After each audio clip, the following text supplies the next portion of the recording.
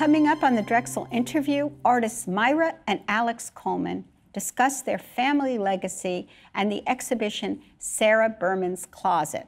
Sara was an incredibly important part of our lives and something that was very close to us. She reminded me that you don't need to follow all the rules and try to fit in and try to look like everything else, but that you can really let your own lyricism sing through every element of what you create. So it's wonderful to have two artists who are mother and son, which is quite unusual. and we know which is which. You know which is which, and I hope our, our I think our uh, viewers, Right. our audience will know.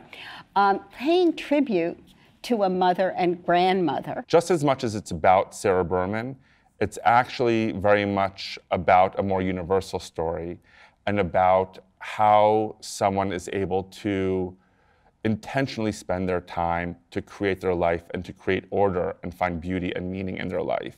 So we're really looking at it through a more universal lens.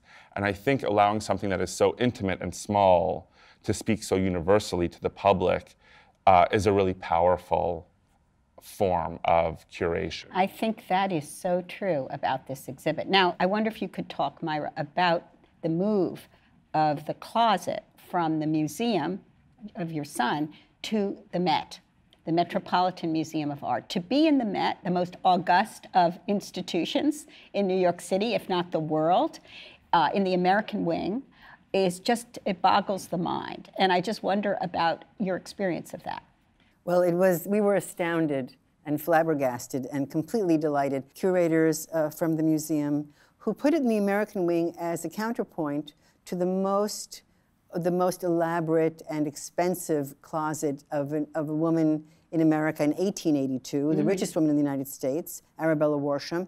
And here in 1982 is a humble, tiny closet of no import of a woman who wasn't famous. So, you know, the, the conversation is what's important, who's important, whose story do you tell, and, and what are the objects of our lives that, that really have resonance and tell that story. What a So- wonderful point counterpoint to be here now in Philadelphia in the museum, the National Museum of American Jewish History strikes me as another turn in this cycle. And I wonder if you could place Sara within the uh, thrust of this museum. Sara's story parallels the story of Jewish history on many levels and immigration. When we came here, the, the, the attitude of my parents, and especially my father, who was an, an ardent Zionist and who, who had been in the you know in Etzel fighting the British. Uh, in, for the independence of Israel, was that we're only here temporarily. They did, in fact, move back when my sister and I were in college, and we had already become Americanized to the point that we said we really need to stay here. And then she came back again. Their marriage was a difficult one. And at the, at the age of 60, she felt that she could no longer stay with him. So she left, came back to New York, where my sister and I uh, were living And with she our lived in the West Village in the, this is the closet in New York City Right. that is memorialized here outside this museum now. it was really like kind of into a monk's cell in a way, and moving into a studio apartment in the West Village where you're obliged to edit. And that sense of editing in life, that sense of what do I really need, becomes a much bigger question, and really is the question I think that Alex is addressing, that I'm, I'm addressing. What are the things that really matter? What people matter?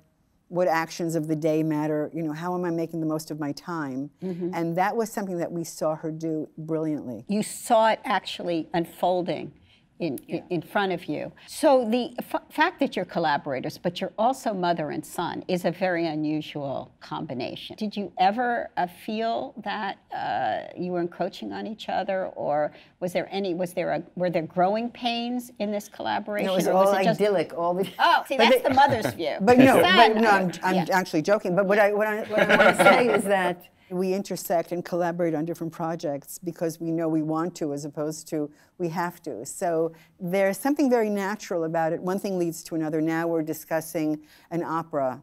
Sara, Ber- the opera Sara Berman's Closet, and that conversation came out of installing here. What a fascinating idea for an opera. Thank you both for this wonderful interview, Alex and Maira Kalman. you very I look much. forward to Sara Berman's Closet, the opera. The opera. We'll be singing, perhaps. Yes. Um, and I want to thank you for joining us today at the Drexel interview.